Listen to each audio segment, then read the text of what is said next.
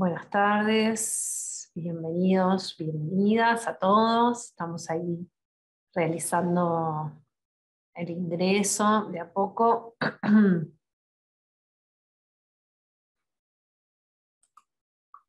Em, mientras van ingresando, bueno, los voy saludando. Y para corroborar que se me escuche bien o que ustedes me escuchen bien, les voy a pedir que en el chat eh, me digan si me escuchan bien. Eh, me presento, no dije mi nombre, mi nombre es Sonia Google, soy integrante, ah, buenísimo, soy integrante del área de educación de Fundación PROA y bueno, tengo esta clase a mi cargo, también nos acompaña eh, Noemí Aira, que también es integrante de aquí del equipo de educación y bueno, vamos a estar juntas en esta clase, en esta nueva entrega de nuestro ciclo de clases a distancia, en relación a eh, la muestra El Dorado, un territorio. Acá veo en el chat que me dicen que, bueno, me saludan y me dicen que se escucha muy bien. Eso ya me deja tranquila. Y después también eh, díganme si en la pantalla, en este momento estamos viendo, estoy compartiendo mi presentación, la primera diapositiva que tiene una especie de GIF eh, de sucesión de vistas de la exhibición, entonces también me interesa saber si están viendo bien la, la presentación.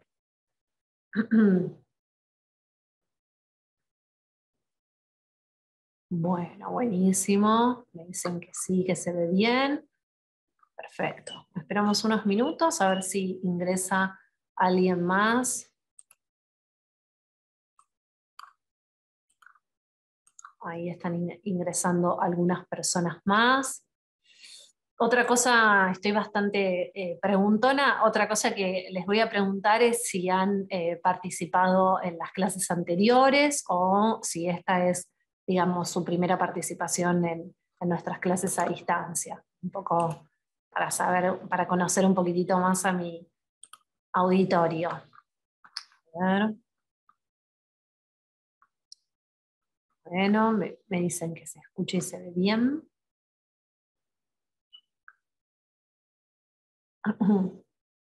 Bueno, por ejemplo, Sabina participó en muchas, bien. María también participó en muchas. A ver, en la mayoría de las clases. Nilda eh, participó en la de Chambi, bien. Sí, participé anteriormente en varias ocasiones. Ah, y algunos participaron del seminario de ProAUNED. Hay algunos son históricos de las, de las del 2020. Eh, hay, bueno, María Beatriz me dice que compartió varias conmigo y que te han gustado.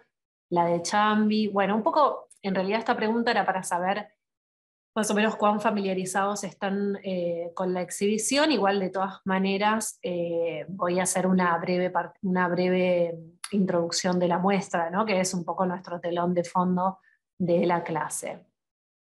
Bueno, y Dana nos dice que participó de varias y que amplían la experiencia de visitar la muestra. Bueno, ustedes saben que ese es uno de los objetivos de nuestro ciclo de clases a distancia, que es un ciclo que se viene realizando desde el 2020, ¿no? que se lanzó en el contexto de la pandemia y que se sostiene, digamos, con este objetivo, ¿no? de poder eh, dialogar o poder eh, eh, establecer, digamos, un espacio virtual que sea también una continuidad de la experiencia que ustedes tengan en la sala, ya sea previo a la, clase o posterior. ¿no? En, ese sentido ya me adelanto y los, los invito a eh, venir a proa, a, recorrer el Dorado, un territorio, a lo mejor pueden aprovechar este fin de semana largo. Eh, igual les aviso que la exhibición va a estar hasta el mes de agosto, así que todavía tenemos bastante por delante. Y bueno, y para quienes no se, no se pueden acercar, digamos, eh, también este ciclo de clases está pensado también para buscar una manera como para acercarles la experiencia que estamos teniendo en eh, las salas de proa. En el día de hoy, la clase eh, que tenemos se titula Enfoco, obras de arte colonial en contextos contemporáneos, y tiene el subtítulo San Antonio de Padua y las obras del Museo Fernández Blanco en El Dorado, un territorio. En esta clase, como un poco explica el título, vamos a poner el foco en la selección de piezas que se pidieron en préstamo al Museo Hispanoamericano Isaac eh, Fernández Blanco. Y en ese sentido vamos a, observar las influencias que los sistemas de representación europeos tuvieron en la producción eh, de imaginería religiosa, pero también en la producción de objetos de uso cotidiano. Y también, sobre todo, por supuesto, vamos a estar pensando en la fuerte dimensión matérica de estas piezas, principalmente en la presencia de la plata y el oro, que como ustedes van a ver eh, son eh, protagónicas en estas piezas. Eh, asimismo, las piezas de alguna manera nos van a servir para pensar en la, en, la, conquista, en el asentamiento de los europeos en el continente americano y en la dimensión evangelizadora que acompañó el contexto de la conquista. A ver pasar. Bueno, acá están un poco los contenidos de la clase. En primera instancia voy a realizar una breve presentación del proyecto y, de la introducción, y una introducción a la muestra del Dorado. Después nos vamos a aproximar a otra institución, que en este caso es el Museo Isaac Fernández Blanco, y pensar un poco en los diálogos eh, interinstitucionales que se dieron y en en los ecos ¿no? de la colonia que, que, vienen de la mano de la presencia de estas piezas. Y después vamos a tener otros, como dos, otros dos núcleos. Uno lo titulamos El oro, presencias y ausencias, su dimensión suntuaria y religiosa en, en, las piezas, por supuesto, y el otro La plata, presencias y ausencias, su valor suntuario, religioso y finalmente su valor de, de cambio. Eh, bueno, arrancamos entonces un poco por eh, la cuestión de la exhibición, El Dorado, un territorio. Ustedes saben que esta exhibición toma como eje principal la leyenda del Dorado, que hablaba de la presencia, la existencia de un territorio rico en, minas de oro escondido en algún lugar del continente americano, eh, y que esta esta leyenda que, se eleva casi a la condición de, concepto fue un motor de búsqueda, digamos, eh, y una excusa para, una de las excusas para la exploración del continente.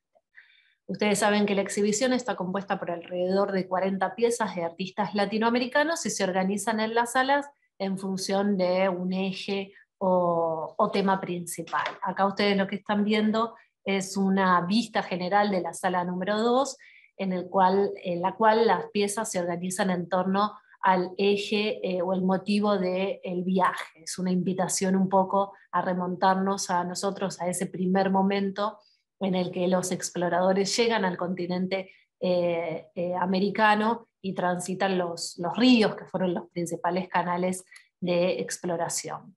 Luego, la sala número dos es una suerte, una invitación ¿no? a recrear eh, fabulosamente este dorado, ¿no? y esto se hace de la mano de eh, artistas eh, contemporáneos, y en esta sala también tenemos la presencia, ¿no? es el primer momento que tenemos la presencia de piezas coloniales.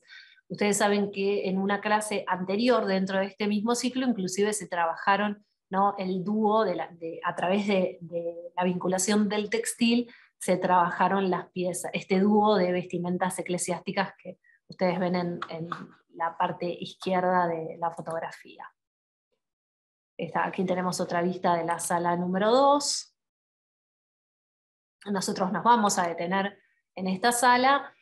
La sala número 3 eh, de, lo, que plantea es, bueno, eh, ese, desplazamiento ¿no? en, la búsqueda y en la, y en la extracción ¿no? de, metales preciosos, el oro no, no, se encuentra así en grandes cantidades, no, no se encuentra el dorado, ¿no? esta, esta fantasía no, se cumple, pero sí se encuentran eh, metales preciosos, y, como por ejemplo la plata, ¿sí? y empiezan a aparecer esos otros recursos naturales que son extraídos y reproducidos. Entonces, eh, el cacao, por ejemplo, Em, el caucho también, la riqueza de la tierra eh, en, general. Y esta idea se continúa en la última sala, bueno, aquí tenemos algunas vistas más de la sala número 3. Acá tenemos un acercamiento a el, núcleo de plata, que nosotros vamos a trabajar en unos minutos eh, más adelante. Bien, y a ver, bueno, no, tengo imagen de la sala número 4, que es una continuidad de, este concepto, ¿no? Bueno, las otras riquezas del continente americano. Em, vamos a pasar un poco a esta aproximación ¿no? al Museo Isaac Fernández Blanco. Ustedes ahí lo que tienen es una fotografía de la fachada del Palacio Noel, que se encuentra en la calle Suipacha, y les cuento que estos diálogos interinstitucionales entre el Museo, eh, entre el Fernández Blanco y Proa se iniciaron con el interés de poder traer la mirada colonial, o sea, piezas que pudieran hablar de, primera mano de, ese contexto. Y el Fernández Blanco es la colección de arte colonial por excelencia de la ciudad de Buenos Aires.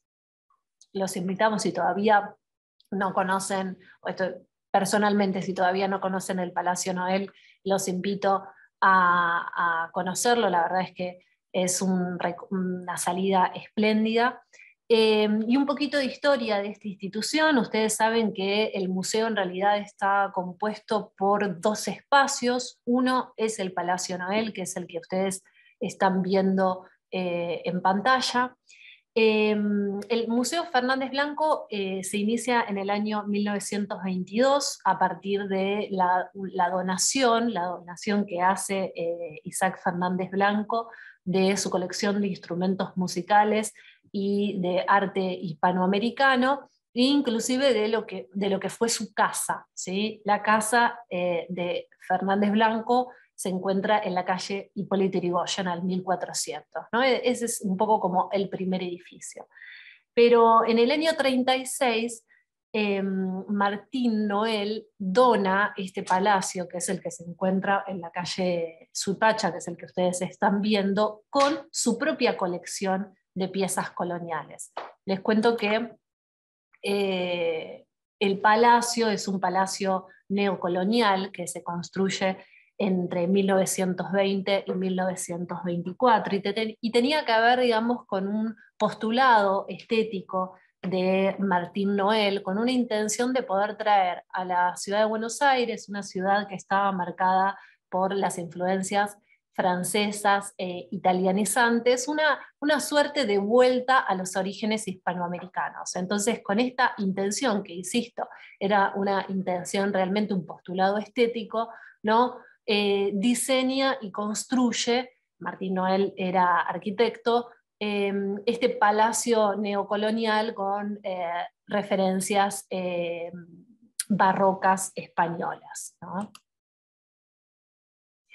Em, ya un poco yéndonos a, la cuestión, a la, colección, que yo se las comenté, la, colección del Fernández Blanco eh, está compuesta por em, instrumentos musicales, piezas de arte colonial, piezas también de artes aplicadas.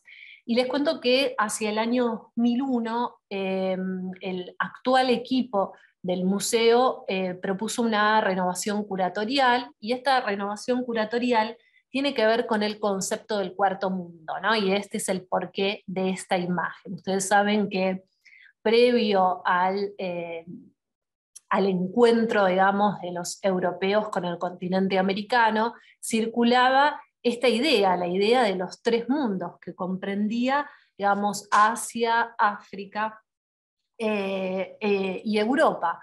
Con, el descubrimiento, entre comillas, ¿no? del continente americano, esta idea perfecta de este mundo triangular debe incorporar al cuarto mundo. Y a partir de eso, a partir de esta idea, ¿no? de, la, de, la, idea del cuarto mundo, es que eh, el Fernández Blanco organiza su actual eh, curaduría. ¿sí? Aquí vamos a ver si puedo compartir con ustedes algunas imágenes y también un poco comentarles que la colección del museo se organizó a partir de lo que ellos llaman ámbitos culturales sudamericanos, ¿no? una suerte de vinculación de las piezas con ámbitos geográficos, pero ámbitos geográficos que tienen una fuerte dimensión eh, cultural, ¿no? Ahí pensando conjuntamente lo geográfico y lo, cultural. Los tres, los tres ámbitos que uno puede encontrarse cuando recorre ¿no? el Palacio Noel son eh, el mundo sudamericano, ¿sí?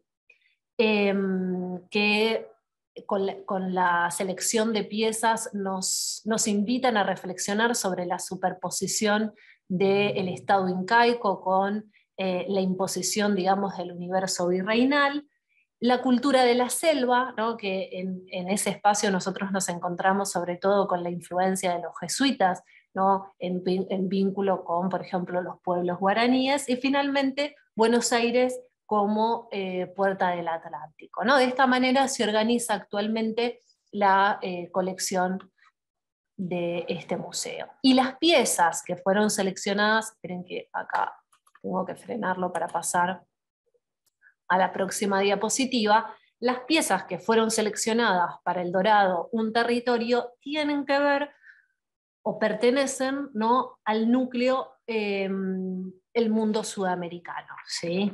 Son piezas que, ustedes lo van a notar, están ganadas, digamos, por la presencia de metales preciosos que son el oro y la plata. ¿Por qué se hizo esta elección? Un poco por el modo en cómo estos materiales, como estos metales preciosos, nos hablan de, de aspectos de ese proceso histórico. Y entonces aquí ustedes tienen un San Antonio de Padua del siglo XVIII en su nicho, unas alas eh, correspondientes a un Santo Domingo de Guzmán, también del siglo XVIII, un tesoro de monedas de plata eh, que se encontró en, los antiguos cimientos de la pirámide de Mayo, y una coquera que perteneció a una familia eh, noble de, la zona norte de nuestro país. Ahí se las, le presenté las piezas y ahora vamos un poco a ir desandando ¿no? cada una de ellas. Em, bueno, entonces aquí tenemos nuestro tercer apartado, el, oro, y aquí un poco algunas vistas de este sector del Fernández Branco que se llama el, mundo surandino. ¿no? Y mm, en ese sentido, la, colección, digamos, las piezas principalmente nos van a estar hablando de, eh, digamos, de las, de las comunidades de los Andes, y nosotros tenemos que, si quisiéramos marcar eh, algunas fechas, tendríamos que pensar que este mundo surandino se inicia con la llegada de este mundo surandino, eh, digamos, eh, virreinal, tiene, digamos, su hito con la llegada de Pizarro en 1532 a la zona del actual Ecuador. ¿no? Y mm, lo que se encuentran es con un territorio que va desde eh, la línea de, Ecuador hasta el, paralelo 34 en Chile, con una, un gran mosaico ¿no? de comunidades em, y entre ellas el Estado incaico. ¿no? sobre ese estado incaico y ese gran mosaico ¿no? de comunidades es que se va a superponer eh, el universo virreinal. Aquí ustedes tienen algunas de las, de las vistas. Y ahora ya nos vamos a meter de lleno con el San Antonio de Padua. Aquí ustedes tienen la imagen y la referencia. ¿no? Esta es una pieza anónima de finales del siglo XVIII que ha sido combinada ¿no? con un nicho de la misma centuria. Ustedes saben que San Antonio de Padua fue un eh, franciscano portugués, nació en 1188 en Lisboa. Eh, primero se formó en em, San Vicente de Fora Em, primero como agustiniano, y, pero en la misma Lisboa conoce la orden de los franciscanos y hace una suerte como de pasaje, ¿no? Em, de una orden a otra. Em, si nosotros pensamos o rastreamos muy, muy, muy sucintamente su iconografía, su iconografía es bastante em, estable y en general se lo representa. Ustedes saben que en la iconografía de los santos, como para poder identificarlos, nosotros debemos prestarle atención a su fisonomía, eh, a su vestimenta y algunos de sus atributos. ¿no? En relación a em, la vestimenta, ¿no? la vestimenta es típicamente la, vestimenta de los franciscanos, ¿no? esta especie de túnica con una capa corta y una capucha que la pueden llevar puesta o baja. Si mm, eh, nos referimos a su, a su, fisonomía, una de las cosas más em, curiosas que encontré es que según eh, se encuentra en los textos antiguos, parece ser que San Antonio de Padua era medio petacón y regordete, pero que en la, en la producción de imágenes hay como una especie de proceso de, em, de idealización y entonces se lo suele presentar como un joven, más bien un poco más espigado, imberbe, ¿no? Y aquí inclusive lo que podemos ver es también esta, esta especie de cabello típico de los franciscanos. Ahora, si nos remitimos a sus atributos, que en este caso es eh, el niño y el libro, no sé si logran verlo, eh, que nuestro, nuestro San Antonio de Padua sostiene un libro y sobre el libro hay un niño, eso tiene que ver con algunos episodios de eh, su vida, ¿no? ustedes saben, en relación al libro se cuenta que eh, hubo un episodio en Forli, en Italia, que, bueno, hay una especie de una ordenación sacerdotal, nadie, no se había organizado para que alguien hablara y eh, San Antonio toma la palabra y casi de una manera muy espontánea da un, discurso que conmueve a todos. Entonces, a partir de eso se habla de su gran capacidad como orador y también eh, como lector, ¿no? Y en ese sentido se lo reconoce como lector de, uno de los primeros lectores de teología. Y es por, es, es por esa razón que en su iconografía aparece casi sistemáticamente el libro. Y sobre el libro El Niño, ¿y por qué el Niño Jesús? Esto corresponde a otro momento de la vida de San Antonio de Padua, una suerte de evento milagroso que tiene que ver con la aparición del niño Jesús. Esto, esto viene por, por voz, digamos, hay un testigo que dice que ve a San Antonio de Padua frente a un niño, un niño de gran belleza. Y eso en la tradición oral se traslada como una suerte de visionado, ¿no? San Antonio ve al niño Jesús. Y así es como lo tenemos en, representado en esta figura del siglo XVIII.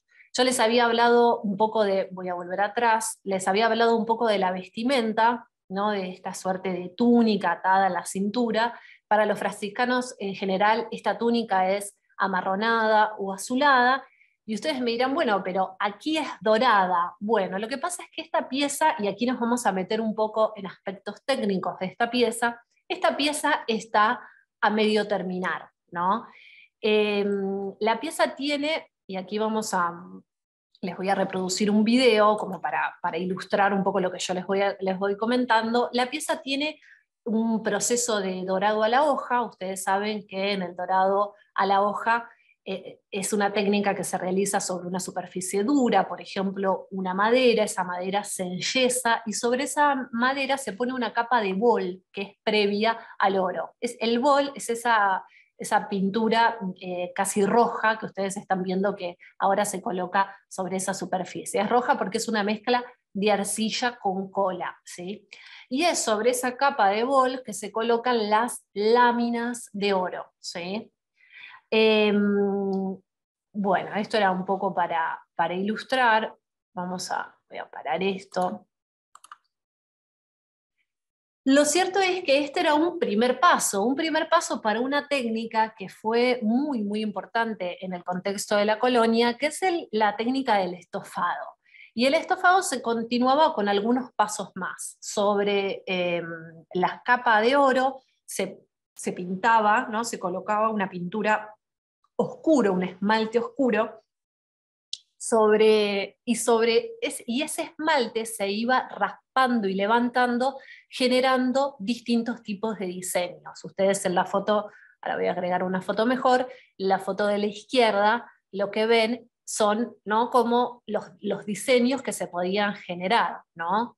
Em, en ese sentido, para que estos diseños fueran precisos, ¿no? se, se dibujaban estos diseños en una especie de papel de calco, Luego esos se, eh, se, tallaba ese papel de calco como con una aguja, ¿no? se iban haciendo puntos sobre las líneas del diseño y después ese papel se coloca sobre la superficie.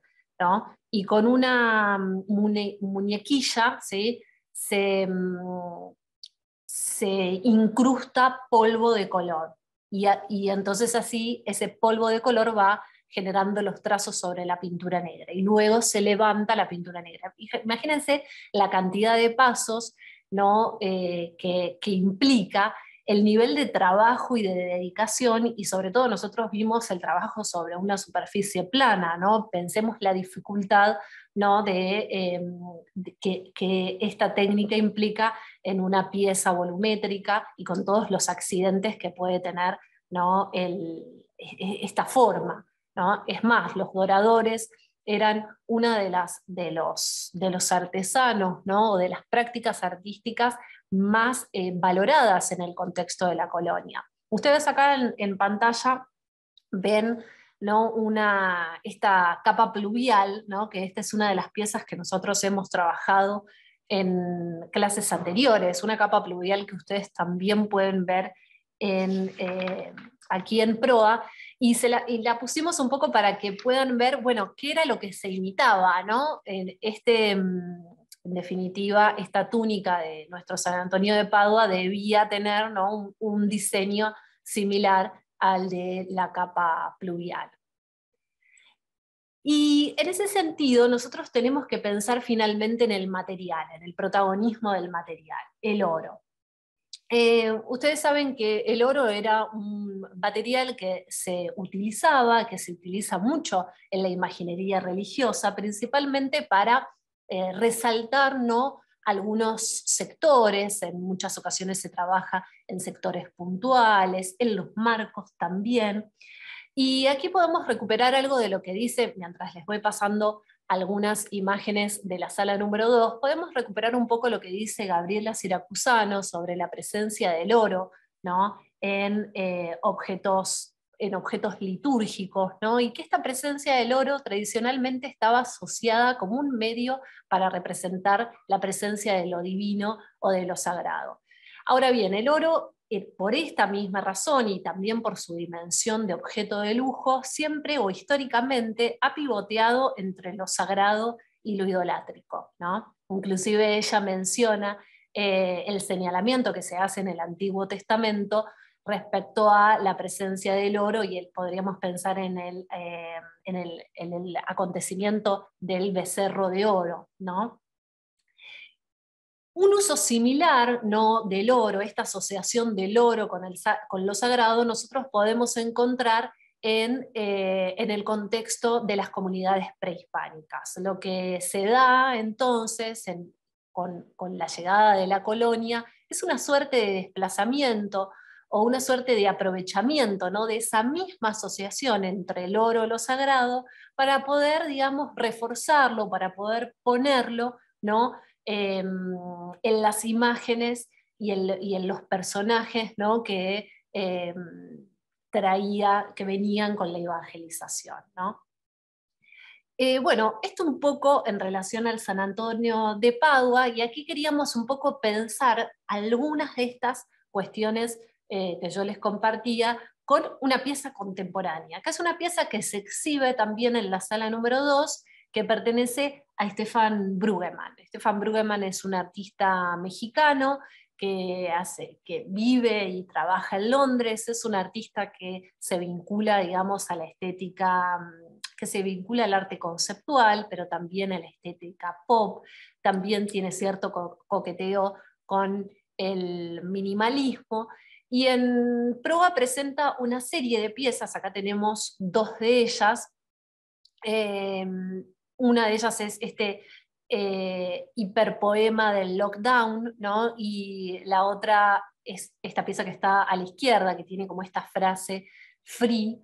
Em, y a ver acá, vamos a escucharlo un poco a él hablar sobre su obra.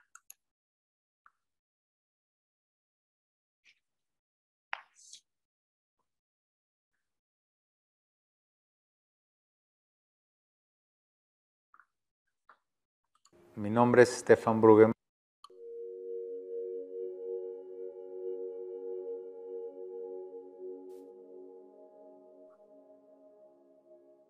Mi nombre es Stefan Brueggemann, nací en la Ciudad de México en 1975 y ahora vivo entre la ciudad de Londres y de la Ciudad de México.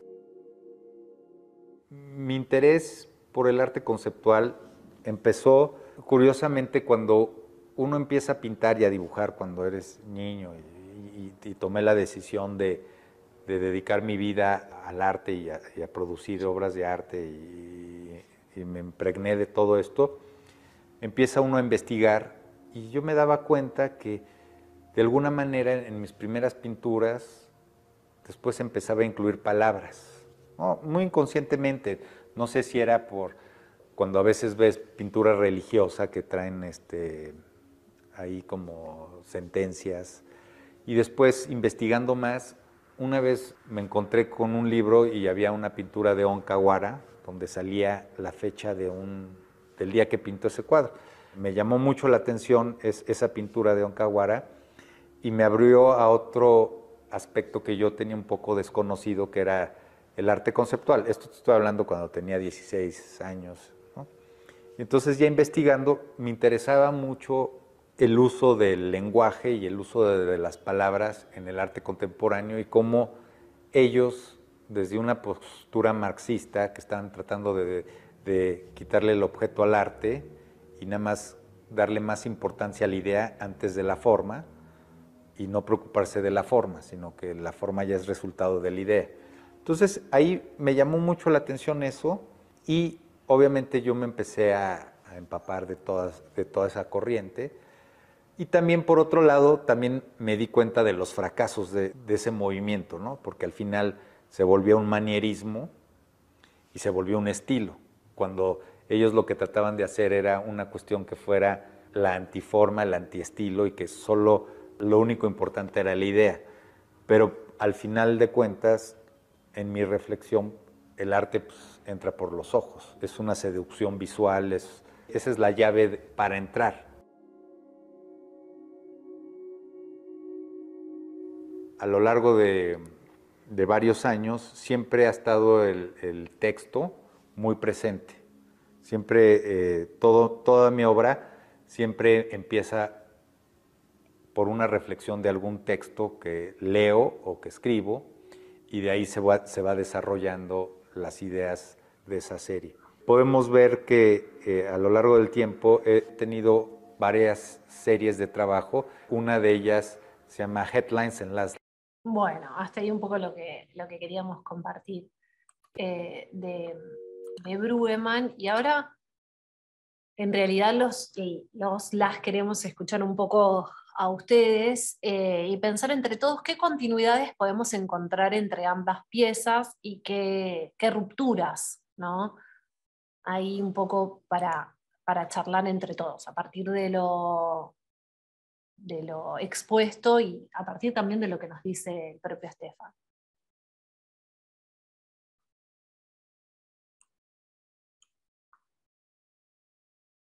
qué continuidades podemos encontrar entre ambas piezas, qué rupturas podemos encontrar entre ambas piezas. Bien, Dana dice, en ambas una presencia del lujo, del poder, del respeto. Bien, efectivamente, ¿no? Porque aparece esta cuestión de el uso del oro o la presencia del oro en, relación a sus múltiples dimensiones simbólicas y a los distintos niveles de eh, valor, ¿no? este valor, por ejemplo, religioso asociado a lo sagrado, que nos mencionaba siracusano, ¿no? En, relación a la presencia del oro en las imágenes religiosas, a lo costoso, ¿no? al valor en sí mismo que tiene este material. ¿no? ahora justo recuerdo algo que, que comenta Baxandel en relación a, el contexto del renacimiento ¿no? y el reemplazo de los fondos de oro por la expertise del artista en la representación de los paisajes, ¿no? bueno, como otro gran valor que puede aportar el artista. A ver, voy releyendo. Mm. En ambas una presencia, ah, ruptura, lo clásico tradicional versus el, minimalismo, lo moderno. Liliana dice ruptura, volumen y plano, exactamente, ¿no? Bueno, ahí tenemos desde lo, desde lo que primero que nos impacta, el volumen, el plano, el uso del oro. Eh, Clara dice, el uso eh, de la palabra, el libro como atributo del santo y en el arte contemporáneo el uso del lenguaje, ¿no? Bueno, ah, bueno muy interesante lo que dice eh, Clara tomando en cuenta la iconografía, ¿no? este, este breve repaso por la iconografía del, santo, ¿no? y este santo que además es un santo doctor, ¿no? portador de la palabra y además de la palabra, eh, de la palabra eclesiástica, ¿no? del Evangelio. El material, discontinuidad como lo sagrado en el arte colonial y contestatario a través del texto de Brueggemann. Bueno, Nilda está perfecto porque además, si ustedes prestan atención, en la obra de Brueggemann, este dorado a la hoja está hecho como, como, como es un dorado herido, ¿no? es un, dorado en, el que, en el que no se pule, en uno de los últimos pasos del dorado a la hoja es una suerte de pulido que se hace sobre el oro para borrar sus uniones, y aquí muy por el contrario, esas uniones, esos cruces se exhiben, ¿no? inclusive lo que se ve atrás, ¿no? como una especie de sangre, es como el volt a lo mejor. En ambas el predominio del oro con todo su peso y su preponderancia. Eh, bien, perfecto. Lo divino y lo sagrado. Creo que hasta ahora un poco leí todo. Bueno, hasta aquí entonces este, este breve intercambio. Si quieren comentar algo, por supuesto, el chat continúa abierto. Yo los, los voy leyendo. Mientras tanto, vamos avanzando un poco a la cuarta parte de esta exposición que tiene que ver con La Plata, y este es un núcleo que está presente en la sala 3, ¿no? Eh, y que recuerden un poco tenía que ver con esta especie de desplazamiento que se da, el, dorado nunca se encuentra, pero lo cierto es que en el continente americano, el continente americano es un continente rico en sus recursos naturales, y entre esos recursos naturales hay un metal precioso, y este metal precioso es la plata. Y aquí podemos recordar, digo, así como recordamos el hito histórico de la llegada de Pizarro al Ecuador, podríamos recordar el hito histórico de la fundación de la ciudad de Potosí en 1545. ¿no? Fíjense qué temprano se funda esta ciudad, eh, que se funda para la explotación del Cerro Rico de Potosí. Ustedes acá lo que están viendo es una pintura del siglo XVIII de Gaspar de Berrio, ¿no? esta vista imaginada, esta, una vista aérea imaginada de lo que es la ciudad de Potosí. Em, y esta ciudad, y aquí volvemos, ¿no? se funda a solo 15 años después del desembarco de Francisco eh, Pizarro en el Ecuador. Y Carlos V la declara Em, declara esto, que era un pequeño caserío, ¿no? un pequeño pueblo, como Villa Imperial. Ustedes saben que el Cerro de Potosí fue un cerro explotado a lo largo de los, los siglos de la colonia y que sirvió, digamos, como fuente para la producción y extracción de la plata que circuló no solo por América, sino también por Europa y eh, otros continentes como, como Asia, ¿no? Y, en relación a, perdón, la, mm, en relación a la colección del Museo Fernández Blanco, las piezas que fueron seleccionadas para el Dorado, eh, estas piezas de plata también corresponden a este núcleo, ¿no? este núcleo surandino que, que también tiene como una de sus grandes dimensiones la producción eh, de plata y de platería ¿no? que, que usa esta, esta materia prima. De hecho, acá ustedes tienen algunas, o compartimos con ustedes algunas eh, fotografías de la extensa colección de platería que se pueden encontrar en el Fernández Blanco. ¿no? Una de las cosas que ellos nos comentaban es en, tomar conciencia inclusive del tamaño o del volumen ¿no? de alguna de estas piezas que son realmente monumentales, ¿no? como por ejemplo las alas que ustedes pueden ver en eh, la sala número 3. También podríamos pensar cómo Potosí, digamos, por esta riqueza material, digamos, eh, por, esta, eh, por, ser, digamos, esta, fuerza de producción económica, también se volvió uno de los puntos o de los centros culturales junto a Lima y Cusco en este virreinato del Perú. ¿no? Aquí ustedes tienen alguna de las tienen una vista de la sala número 3. Y ahora nos vamos a dedicar a estas salas que también son de un productor anónimo, ¿no? Son unas alas cinceladas en, en plata. Y les cuento que estas alas pertenecen a un santo. Aquí nos encontramos con otro santo, eh, que en este caso es Santo Domingo de Guzmán. Santo Domingo de Guzmán es el creador de la Orden de los Predicadores o Orden de los Dominicos, otra de las grandes, de las eh, importantes órdenes que se asentaron en el continente americano y llevaron adelante el proceso de la evangelización. Santo Domingo de Guzmán eh, nace en 1170, también otro santo del siglo II, en Burgos, España. ¿no? Recordemos que San Antonio de Padua era lusitano y fue canónigo, canónigo regular de, eh, de Osma. Y muy rápidamente eh, en, su biografía se cuenta que em, siente la necesidad de crear una nueva orden eh, que una nuevamente y que esté unido, eh, que una el estudio a la vida religiosa, ¿no? Eh, y que también este estudio esté vinculado ¿no? a la prédica. si nuevamente hacemos este breve ejercicio de, de, rastreo iconográfico de la figura, del lado izquierdo, ¿sí? a ver si tengo, no, voy a volver atrás. Del lado izquierdo ustedes tienen Em, la, imagen que se, un poco se asentó a lo largo, desde el siglo XV en adelante, la imagen que se asentó de este santo. ¿no?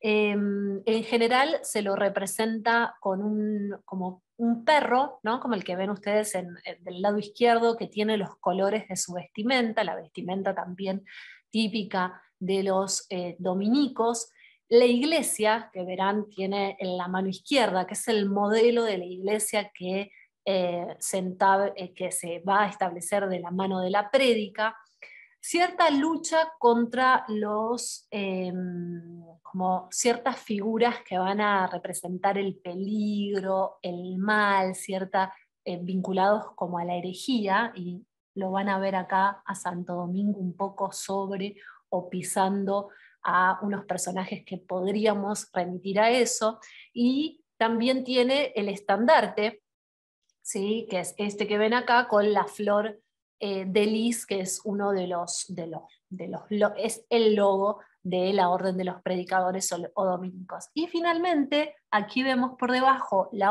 la orbe, el mundo, ¿no? que también habla ¿no? de este de este avance o de esta prédica ¿no? Eh, que viene a eh, llevarse a cabo alrededor de todo el mundo conocido. Bueno, del lado izquierdo, esta es una eh, pintura, a ver si tengo aquí la referencia, si la encuentro, bueno, si no la, la busco más adelante.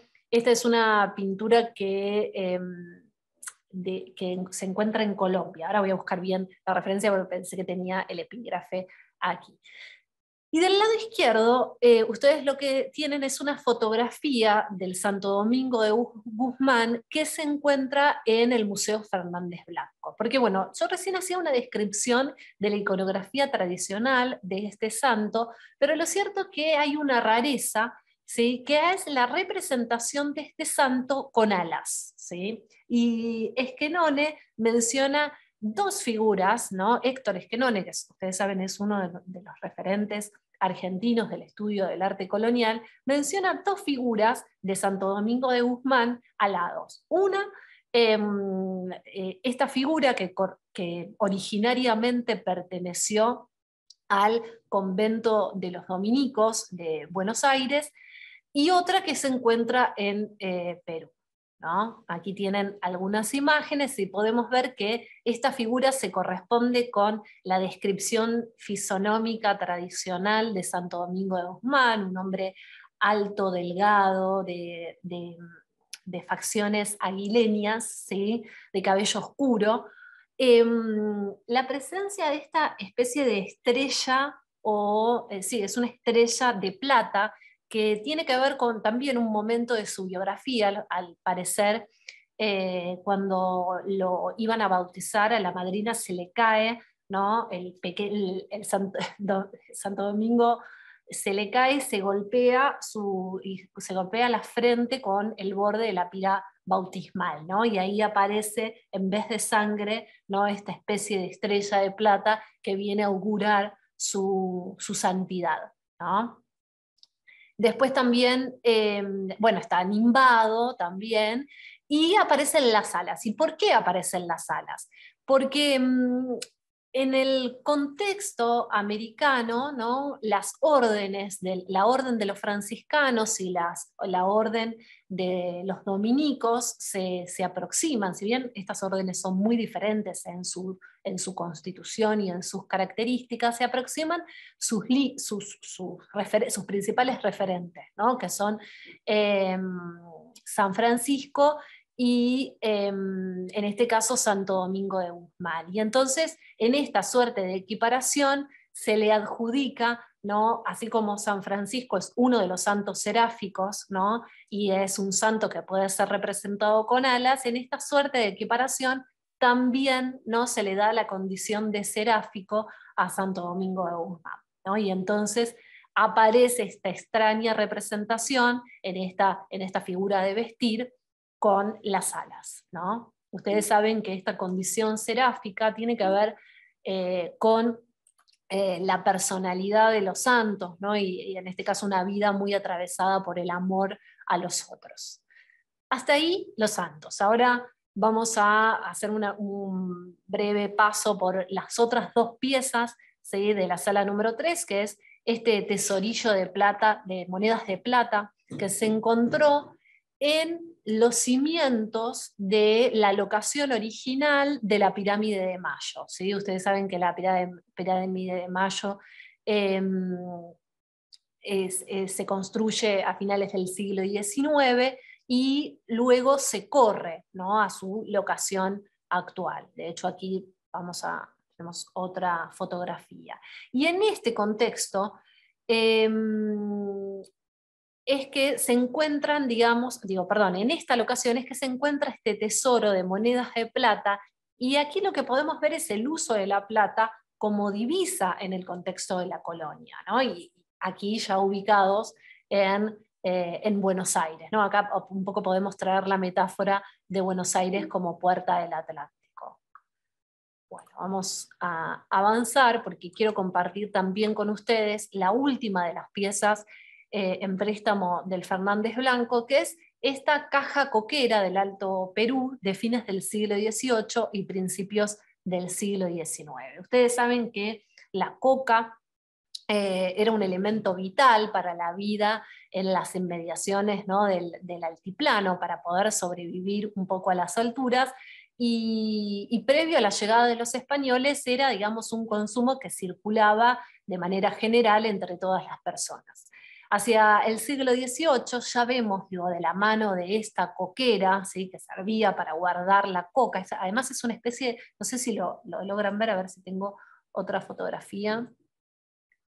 Em, es una suerte de cofre, ¿no? Y entonces lo que nos habla, tiene una llave inclusive, lo que nos habla es como del guardado de la, de la coca y su conservación en un cofre, ¿no? Como una, una suerte de consumo de lujo. Otra de las cosas que ustedes pueden ver es que la coquera está acompañada por estos vasitos, ¿no? Inclusive unas pinzas que servían para la preparación de la infusión de la coca. ¿no? Eh, para esta infusión se le agregaba bicarbonato de sodio, que esto permitía eh, ablandar ¿no? la coca y también quitarle algo de su acidez, y se aromatizaba o se le daba un sabor o un sabor extra con eh, algunas hierbas aromatizantes, como por ejemplo la, lima. Por eso ustedes van a ver en la parte de arriba que esta coquera está decorada con una, una especie de ramillete de limas. ¿no? Sé si lo pueden ver.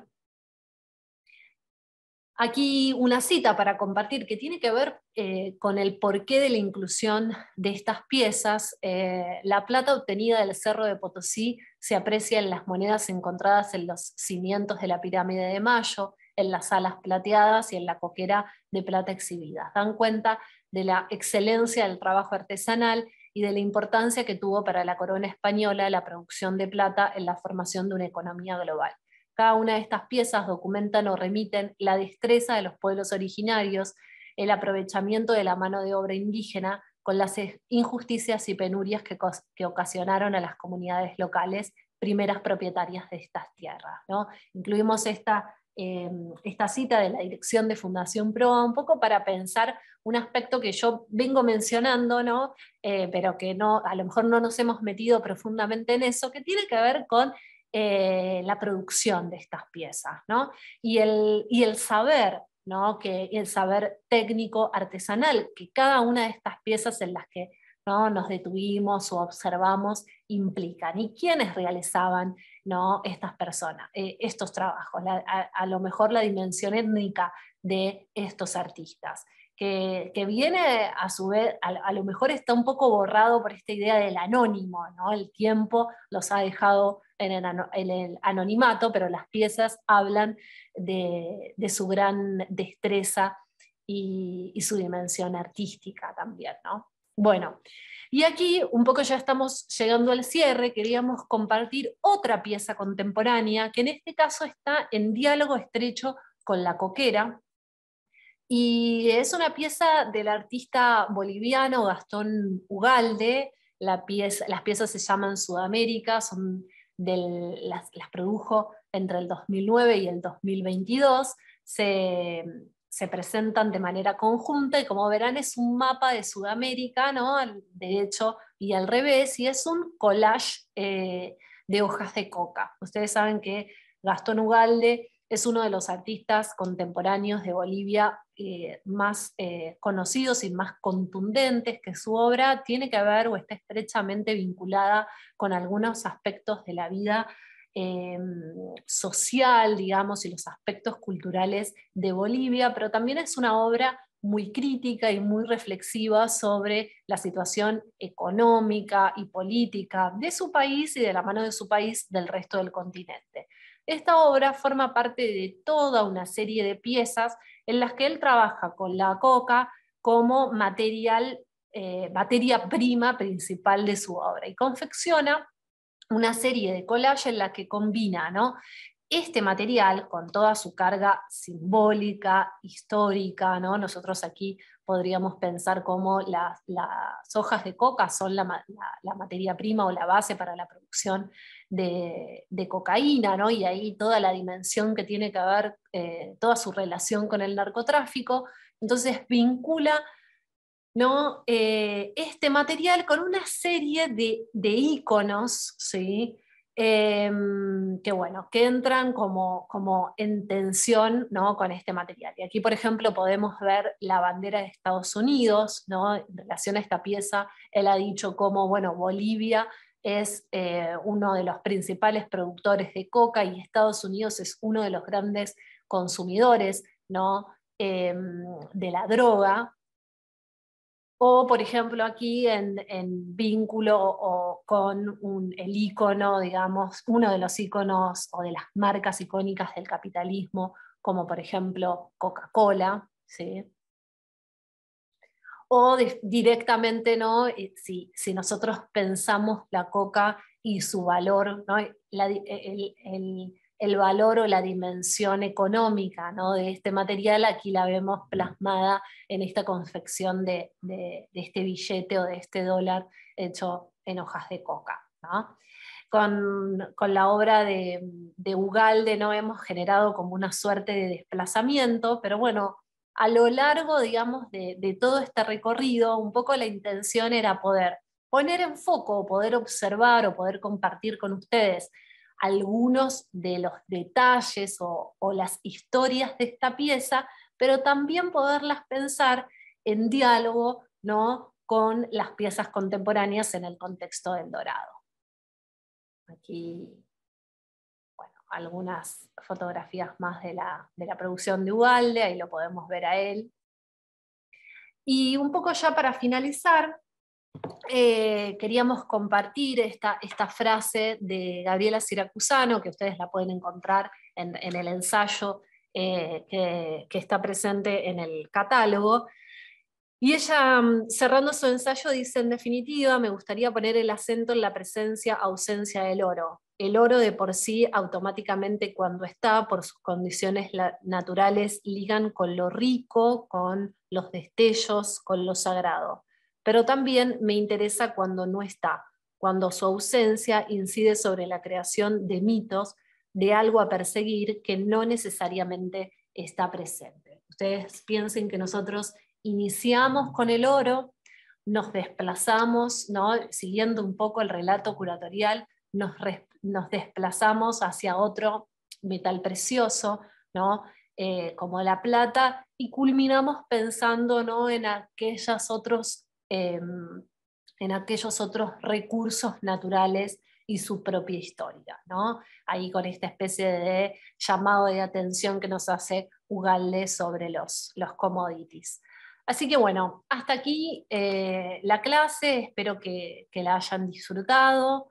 Em, vamos a tener otra, otras eh, entregas, eh, ahora no me acuerdo la fecha, no recuerdo la fecha, pero bueno, los esperamos y bueno, los esperamos también en Fundación Proa para quienes todavía no hayan venido eh, a ver la muestra.